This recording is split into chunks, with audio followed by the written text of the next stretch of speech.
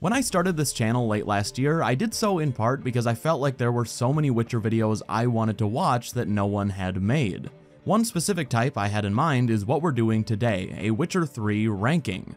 I've always felt like there was a lot of potential there, and I'm going to kick this maybe series of videos off with what is likely the most difficult subject to tackle. That is, ranking the endings. I want to do this topic justice, so I'm not only going to be covering the three major outcomes, meaning what happens to Ciri, I also want to tackle the Blood and Wine and Hearts of Stone DLCs, especially Blood and Wine. And I'm also covering the relevant war aftermaths for each area, meaning who ends up ruling Skellige and who takes over the north. As far as Geralt romances and Yen slash Triss and that whole debate, that's ground that will be covered in a different video very soon. Of course, I'm going to be ranking each category separately because there's no point in comparing Hjalmar ruling Skellige to letting Dettlaff live in Blood and Wine. Each sub-ranking will have its own section and criteria. If there's something specific you're wanting to get to first, I'll have timestamps to everything. Now before I get to all of that, I do have a sponsor for today's video, Atlas VPN, who are currently running a summertime promotion for just 183 a month, which also includes 90 days of bonus coverage for free. I did mention this in a previous video, but I personally use a VPN more or less all the time simply for the peace of mind. The internet is great for many things, but do you really want all of your passwords, browsing history, and that sort of information openly exposed to your ISP, or even worse, to a public internet connection? I don't, and Atlas VPN are a great and affordable option for those trying to surf the web safely. Also, from my experience at least, Atlas is top tier when it comes to convenience. One click and you're connected wherever you want to be, across unlimited devices.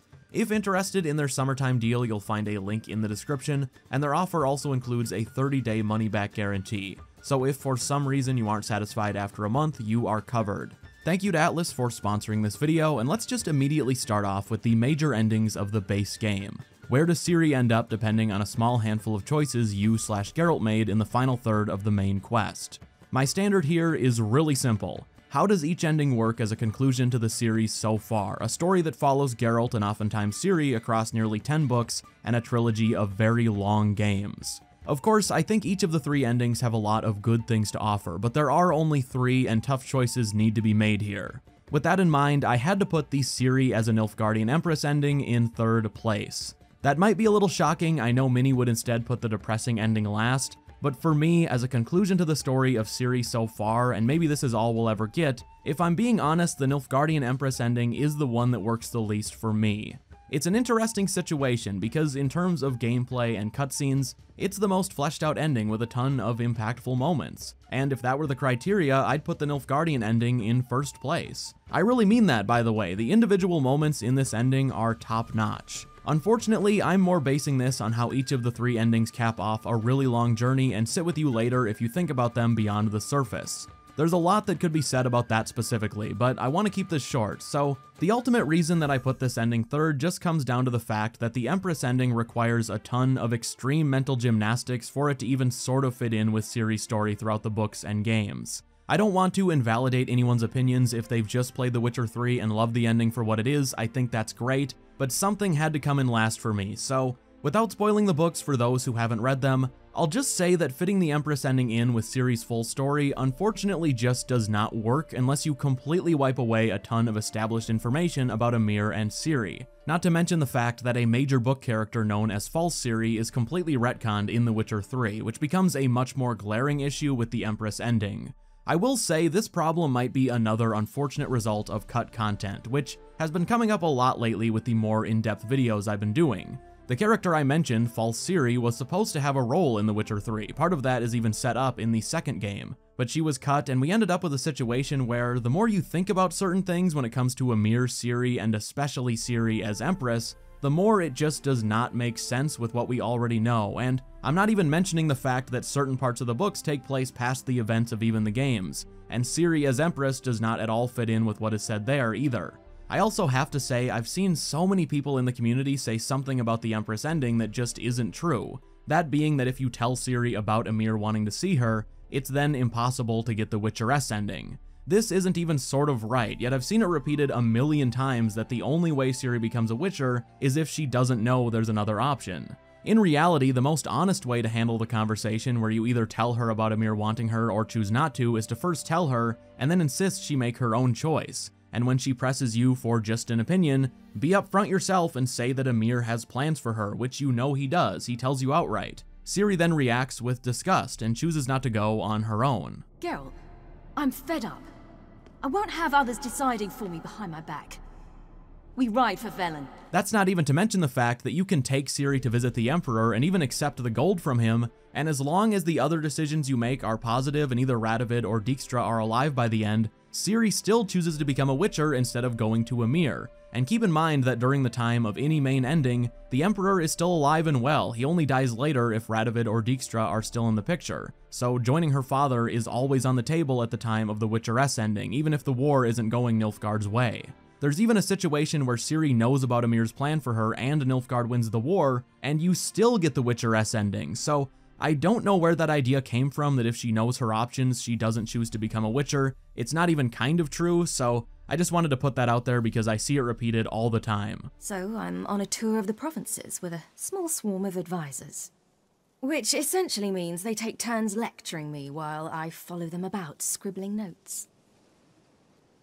Okay, moving up, I have what many call the bad ending in second place. When people say bad, of course, they just mean it's depressing. Ciri disappears and you're left with this gut-wrenching shot of Geralt having given up as a swarm of monsters surround him.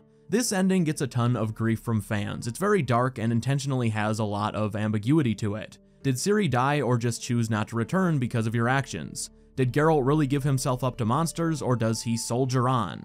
The game then plunks you back in Kaer Morhen before the events of the ending, and it's sort of devastating. That's the experience I had on my first playthrough years back, and it was so effective. Of course, with Blood and Wine taking place after the base game, I do like to think that Geralt lived, and even before the little tapestry easter egg of the swallow flying from the tower, I had always thought of Ciri just choosing not to return for a while as opposed to just giving up and dying because Geralt made a few questionable parenting decisions, but it's the ambiguity of it that's so perfect for the world of The Witcher.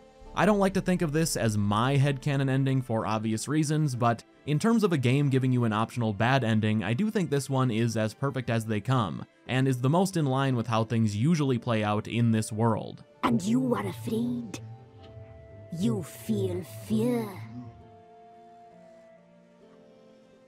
You lie. I don't feel a thing anymore. At number 1, and call me a sucker for a feel-good ending if you want, I have the Witcheress conclusion. Like I sort of said a minute ago, most of the time the Witcher universe just doesn't give the few good people in it what they actually deserve. In fact, The Witcher 3 is really the first entry that will sort of consistently let major characters have happy endings. And if there are two people that deserve a break in life, it's definitely Geralt and Ciri. I often see it said that Ciri in The Witcher 3 is just a whiny brat, and in my opinion, that is completely missing the point of what her life has been up until her and Geralt reunite.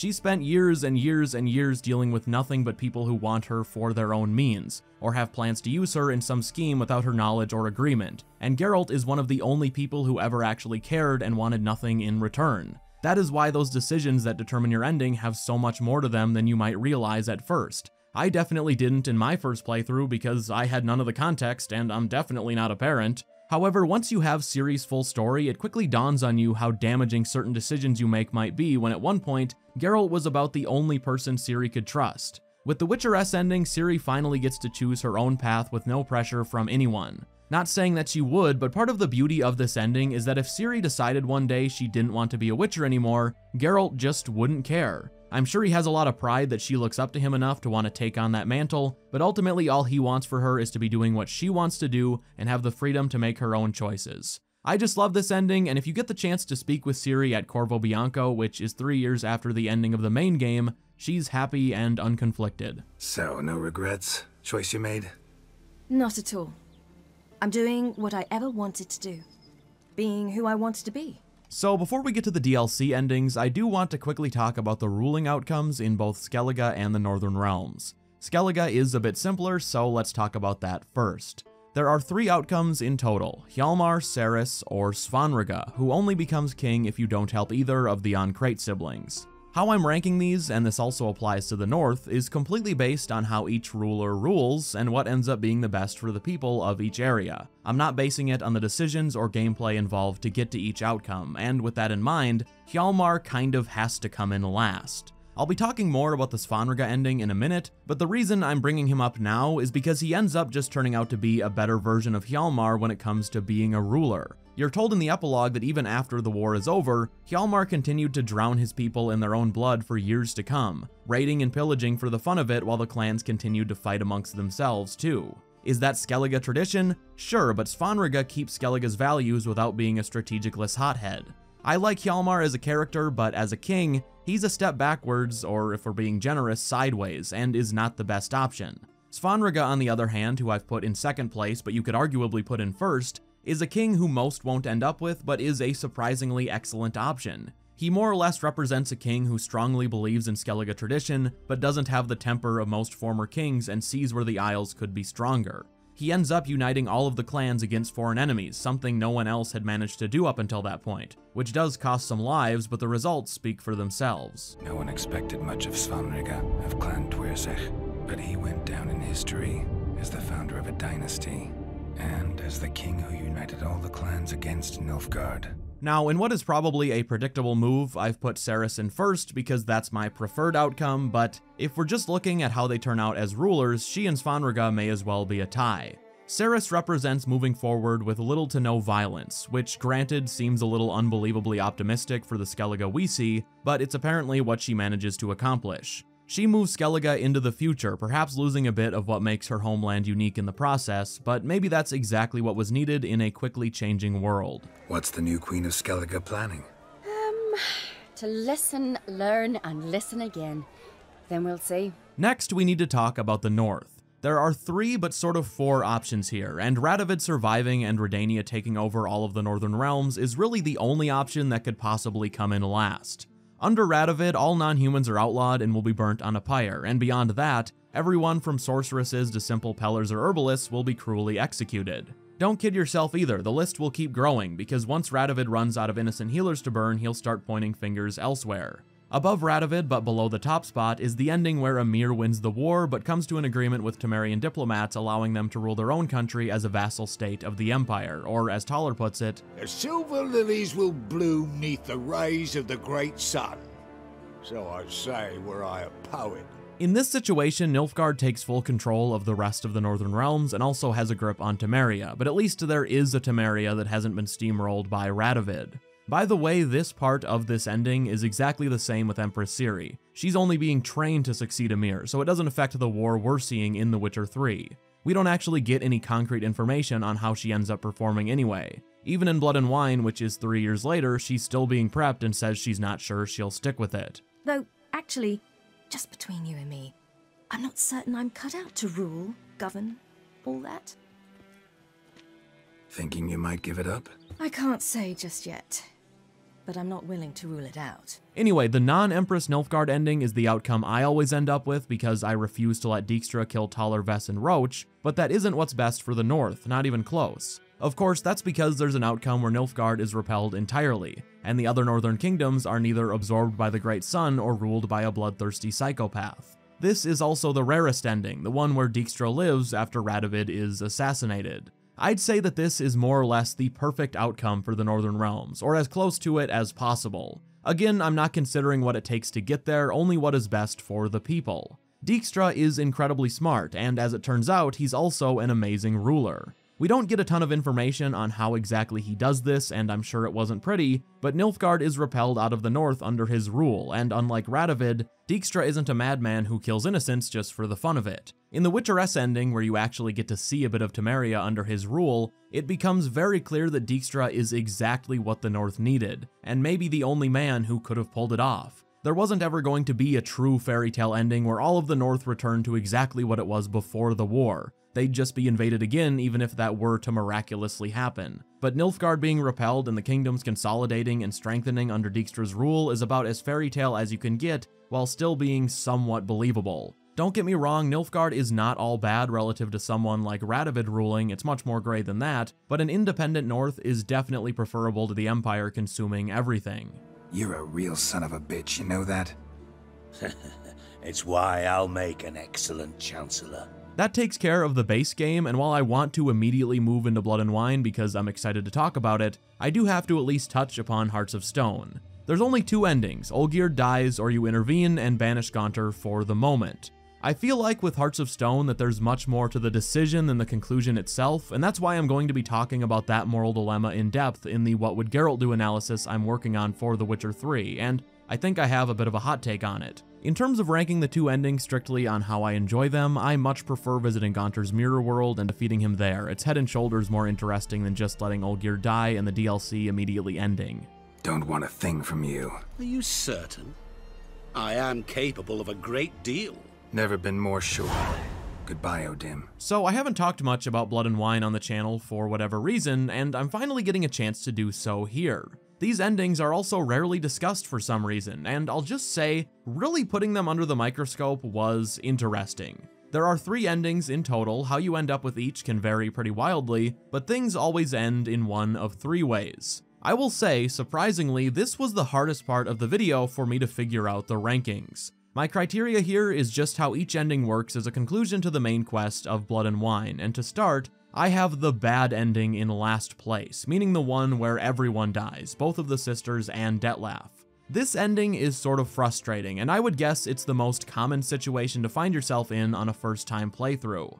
I don't want to spend a ton of time explaining the half dozen different ways you can end up with everyone dead, but I think the easiest way to sum most of them up is that you'll always get the bad ending if you ignore Regis's advice. If you visit the Unseen Elder, which Regis begs you not to at multiple points, you always get this ending. If you don't and seek out and then save Syanna from Dettlaff, but ignore Regis when he tells you he has a lead on the fifth murder victim, you again end up with everyone dead. Another way you get this ending is perhaps the most frustrating of all, and it's the situation where you do thoroughly investigate and discover that the Duchess, Anna Henrietta, was meant to be Syanna and Dettlaff's fifth and final kill. You can do all of that correctly and then proceed to speak to Syanna, where the last thing she'll say to you is this. I regret nothing.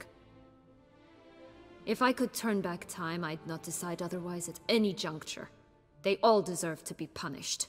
My sister most of all. That's not even to mention that earlier in the conversation, she drops another very subtle hint of her intentions. She ought to know. If only cause you'll probably try to kill her again if she ever lets you out. I probably will. Where I'm going with this is that after all of your investigating, Syanna can still kill the Duchess right in front of you, depending on what journal entries you've read and how much you sympathize with Syanna both in the Land of a Thousand Fables and when visiting her directly before she kills the Duchess. You can warn all of Henrietta's men as well as the Duchess herself of Syanna's plan, yet when it comes down to the moment when they're going to give each other a hug, everyone suddenly acts like they've been lobotomized so Syanna can give a little villainous speech and stab her sister. The Duchess's behavior makes sense. She's naive and has a massive blind spot for Syanna. But in the scene where Syanna kills Anna Henrietta, everybody else, including Geralt, is just joking around as far away as possible, even though you just told them that Syanna planned to kill the Duchess. I must alert my men. Enlarge the Duchess's honor guard. Make certain Sylvia Anna is closely watched during the questioning. I'll see to it personally. If you do all of the investigating, the moment of death almost becomes funny, because what else was going to happen? Obviously, Syanna's gonna stab the Duchess, she just told you she would five minutes ago. On that same point, for some reason you never actually tell anyone that you just visited Syanna, and that she admitted to everything and said she'd still kill Henrietta in a heartbeat if there was ever another opportunity to. Correct me if I'm wrong, but that seems like an important thing to mention, especially before a meeting with Syanna. All you actually do is hand Henrietta the note you found during your investigation with Regis, and when she doesn't believe what she's seeing, Geralt just doesn't elaborate. When you're actually thorough and not just skipping huge parts of the investigation but still end up with this ending, in my opinion it feels forced and like they didn't quite have a conclusion to match your actions leading up to it.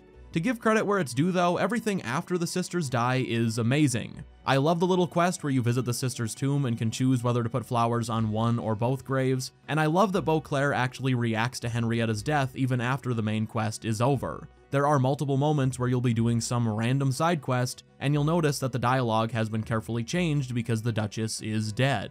And all for the glory of her grace, the Duchess. Thought this was about a witcher and a coiffeur. What's the Duchess got to do with it? Her illustriousness was always so very kind to me. My poem I've decided to dedicate to her martyrdom.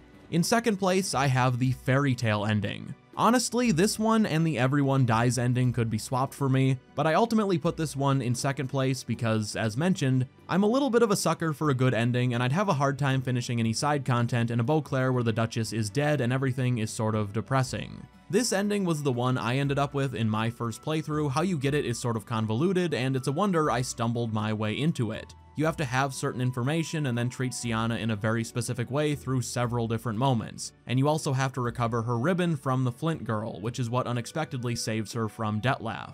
What I appreciate about this ending is how Geralt shows empathy towards Syanna in this sequence of events. Don't get me wrong, she is an awful person, but Geralt has dealt with another Syanna earlier in his life. She's one of the 60 women said to be cursed by the Black Sun, same as Renfri from The Last Wish. And the big question with the so-called curse is, are they actually cursed to become monsters later in life, or do they become monsters because everyone treats them like one? Almost all evidence points towards the second option. That's not to say that Syanna is at all justified in her actions, she's responsible for many deaths, but I think all of the empathy Geralt shows that leads you to this ending makes perfect sense considering his past. He's stern but fair in every interaction. There's nothing she could say to change what she did to me, to justify it.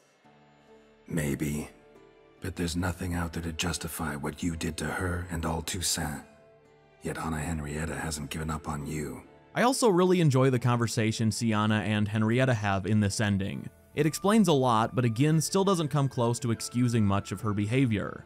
When it comes down to it though, how things wrap up here is just a little too sweet for me after all Syanna was responsible for. I get it, Blood and Wine is very fairy tale in many ways, but Syanna faces absolutely no consequences in this ending, and the only way you can end up with it is in a situation where it's known by far too many people that she was planning to kill the Duchess. When you say it, everyone around you hears, and there's no way it wouldn't get out to the wider world, and many others already know she was responsible for the other deaths around Toussaint.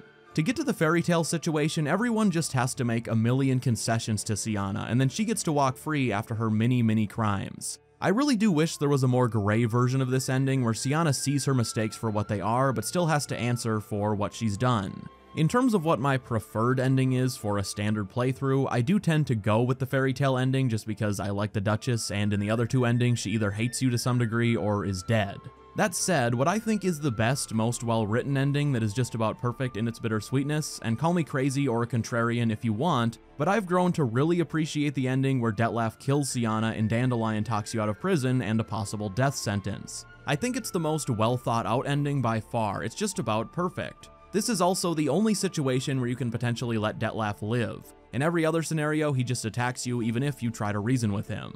I personally think he deserves to die considering he murdered hundreds of innocents because he was basically just throwing a fit, and also to me he seems much too powerful and dangerous to also be so easily manipulated. Anyway though, I'm more focused on the ending itself. Anna Henrietta throws a fit because Syanna is dead, you're thrown in prison but Dandelion comes to the rescue. He has a lot of history with the Duchess, and the second he heard you were in trouble, he took off to Toussaint. That right there is Dandelion, and it's part of why I love this ending. It's really the only point in The Witcher 3 where you actually get to see why he and Geralt are such good friends. The two versions of this ending both have a lot to offer in their own right too. In the version where you spared Dettlaff, it makes Dandelion's feat of talking you out of prison even more impressive, because it feels very grim up until that point. I do prefer the version where you kill Dettlaff because I think he deserves to die, as I said, but that's also the more bittersweet version of this ending. You're not hated, everyone acknowledges the only reason you're in prison is because Anna Henrietta is throwing a fit, and Dandelion not only talks you out of a lengthy sentence, but also convinces the Duchess to give you most of your contract reward because you did what you could. You can then investigate with Regis and let Henrietta know that she was meant to be the final victim in Syanna and Dettlaff's murders. It's a bit of a heartbreaking scene because she lashes out at you, but only because she knows it's true. I shall never believe she did this. She was not capable. This is an outrage. Dandelion, tell him it's not true. Tell him it's a dirty lie. I find that people discuss the base game endings all the time, but Blood and Wine not so much. It might be because it's a situation where the main quest really isn't even the star of the DLC. It's the new area and all of the side content that people talk about the most. That is it for today though. If you enjoy Witcher content, feel free to subscribe. We are getting so close to 50,000 subscribers. And also, if you enjoyed the video, consider leaving a like as it really helps to get these videos out there. Also, if you're interested in further supporting the channel and some extra content, you can find the channel's Patreon in the description. Thanks for watching, and I will see you in the next one.